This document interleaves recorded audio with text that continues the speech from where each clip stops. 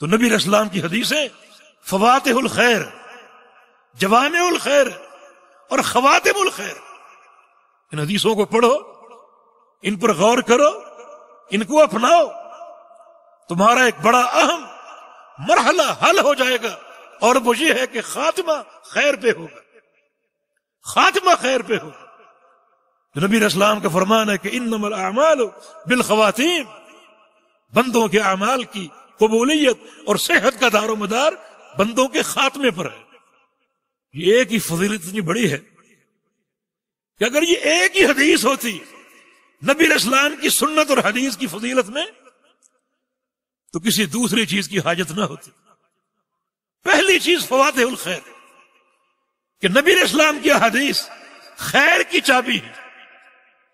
میں ایک حدیث کا حوالہ دیتا ہوں، اس کی صنعت میں کلام ہے۔ مگر اس کی تائید دوسری حدیث سے حاصل ہوتی۔ رسول اللہ علیہ وسلم کا فرمان ہے لا الہ الا اللہ، مفتاح الجنہ۔ لا الہ الا اللہ، جنت کی چابی۔ یہ چابی کس نے فراہم کی؟ محمد الرسول اللہ علیہ وسلم۔ یہ آپ کی حدیث فوات الخیر۔ لا الہ الا اللہ، جنت کی چابی ہے۔ اور اس کی تائید ایک اور حدیث سے صحیح مسلم کی حدیث ہے۔ نبی اسلام کا فرمان ہے، ما من عبد توضا ثم قال اشهد ان لا اله الا الله، وحده لا شريك له واشهد ان محمدا عبده ورسوله. فتحت له ابواب الجنه الثمانيه من ايها شاء دخل۔ جو بندہ اچھے طریقے سے وضو کر لے اور پھر یہ کلمہ توحید ادا کرے اشہد ان لا الہ الا اللہ۔ میں گواہی دیتا ہوں کہ اللہ کے سوا کوئی معبود نہیں۔ وہی لا الہ الا اللہ، مفتاح الجنہ۔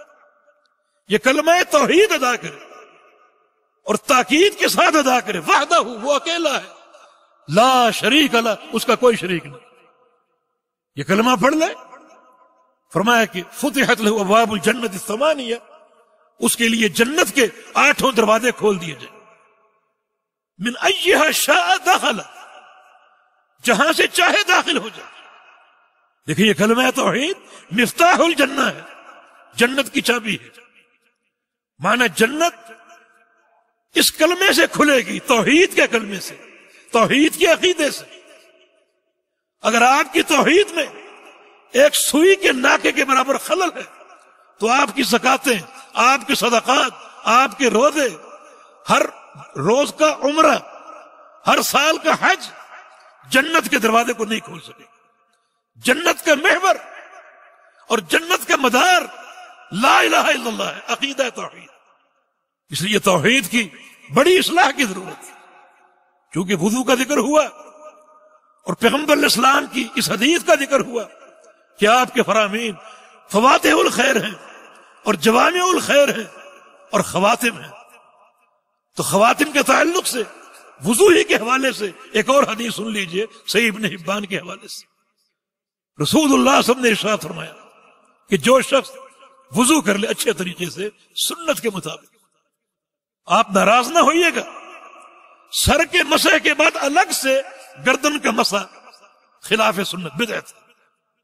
الگ سے بازو پر ہاتھ پھیرنا بدعت۔ اور وضو مفتاح الصلاح ہے۔ نبی اسلام کا فرمان ہے، مفتاح الصلاح الطہور، کہ نماز کی چابی وضو ہے۔ اگر یہی گڑبڑ ہو گئی، تو غلط چابی سے تالے نہیں کھلتے۔ کس طرح مفاتیح جو ہیں وہ تقسیم ہو رہی؟ جو شخص وضو کر لے اور ایک اور دعا کا ذکر وہ پڑھ لے۔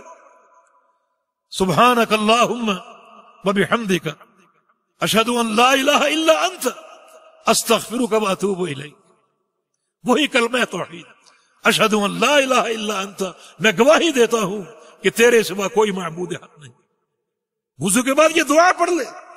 یہ بے نہیں وہی دعا ہے جو کفارہ مجلس کی دعا ہے۔ اس کا اجر کیا ہے؟ دیکھیں خواتم الخیر۔ اس کا اجر یہ ہے کہ اللہ رب العزت آپ کی اس دعا کو حدیث میں سخت کے الفاظ ہیں، ایک قیمتی کاغذ پر لکھوائے گا۔ بڑی اعلی دستاویز پر یہ کلمات لکھائے گا اور پھر اپنی مہر لگا دے۔ گا آپ نے کلمات پڑھے۔ اللہ رب العزت ایک انتہائی قیمتی کاغذ پر یہ کلمات لکھوائے گا اور اپنی مہر لگا دے۔ گا آگے کیا فرمایا؟ فلم تکسر یوم القیامہ، اس مہر کو قیامت تک کوئی توڑ نہیں سکے گا۔ خاتمہ خیر۔ جس شخص کے ایک عمل پر مہر لگ جائے اور وہ مہر قیامت تک قائم رہے۔ اس کا خاتمہ خیر پر یقینی ہے یا نہیں؟ اس کی موت شرک پر آ سکتی ہے، کفر پہ آ سکتی ہے، ہرگز نہیں۔ تو پیغمبر الاسلام کے فراہمی کتنا عظیم سرمایہ ہے۔ تو ان نصوص سے یہ واضح ہوا کہ جنت کی چابی ایک ہی، نمازیں، روزے، حج و زکات نہیں۔ اگر توحید میں خلل ہے تو ان میں سے کوئی عمل جنت کو کھولنے کی صلاحیت نہیں رکھتا۔ جنت کھلے گی صرف کلمہ لا الہ الا اللہ کی برکت بڑا عظیم کلمہ، عقیدہ توحید کی اساس، عقیدہ توحید کی بنیاد، مگر سچے فہم کے ساتھ۔ آگے دروس میں ہم نے اس کلمے پر بات کرنی ہے۔ اس کا صحیح فہم آپ کو دینا ہے۔